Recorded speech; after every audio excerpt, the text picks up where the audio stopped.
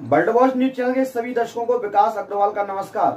दमोह शहर व आसपास की ताज़ा खबरों के लिए हमारे चैनल को सब्सक्राइब करें व बेल आइकॉन ज़रूर दबाएँ, जिससे आपको नोटिफिकेशन मिलता रहे। आइए नज़र डालते हैं बड़ी खबर पर। दमोह ज़िले के हिंडोया थाना अंतर्गत आने वाले नेकराम कुर्मी ने एक आवेदन हिंडोया थाने में दिया है, जिसमें उन्होंने बताया कि मेरे बड़े भाई लक्ष्मी प्रसाद कुर्मी, जो कि कई वर्षों से लापता हैं उनकी ज़मीन किसी लक्ष्मी प्रसाद कुर्मी समन्ना निवासी की फ़ोटो लगी हुई है और उसने ज़मीन किसी लक्ष्मण यादव के नाम पर बेच दी है। इस संबंध में उसने बताया कि मेरे भाई सात वर्षों से लापता हैं, जिसकी गुमशुदी की रिपोर्ट हिंडोया थाना में दर्ज है और फर्जी तरीके से मेरे भाई की ज़मीन किसी दूसरे ने बेच दी है, जिसके लिए वह इंसाफ के लिए दर बदर ठोकरें खाता हुआ फिर रहा है। वह न्याय की गुहार लगा रहा है।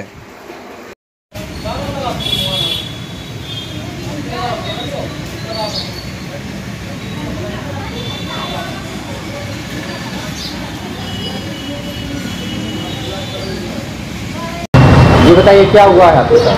हमारी भाई लक्ष्मी प्रसाद की ज़मीन बेच दी है। कहाँ हैं वो आपके भाई? हमारे भाई गुमशुदा हैं। उनकी जगह पर नकली लक्ष्मी प्रसाद बन की फर्जी वो जगह बेच दी। किसने बेची है? समन्ना के।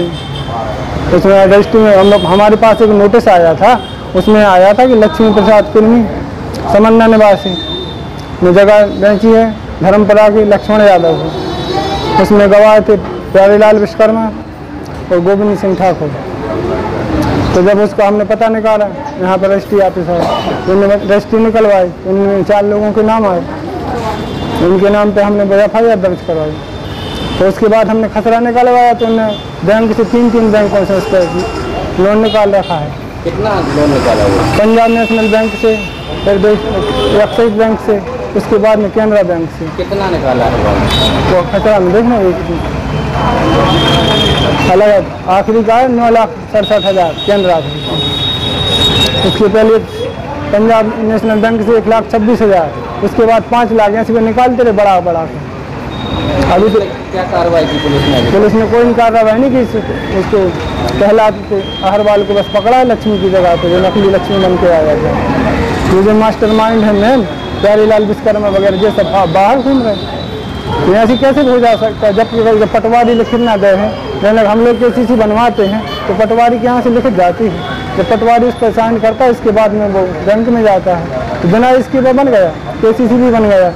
और आर ने कोई वो रजिस्ट्रार ने उसकी कोई जाँच पड़ताल नहीं की, लक्ष्मी की जगह पे कोई दूसरे का आईडी लगा है, दूसरा आधार कार्ड लगा है। ऐसे कैसे ना, हम लोगों को पता ना, हमारा भाई है तो यहाँ ऐसी रजिस्ट्री कैसे हो जाती है? जैसे मान लो किसी की भी हो जाए, कोई अपने घर पर पड़ा रहा, अपने रजिस्ट्री को बाकी सब सामान, बही वगैरह हम अपने घर पर रखें। नकली या फर्जी बना कोई भी कर सकता है। तो लापरवाही नहीं है, ऐसा हो नहीं सकता कोई घर ही बिक जाए।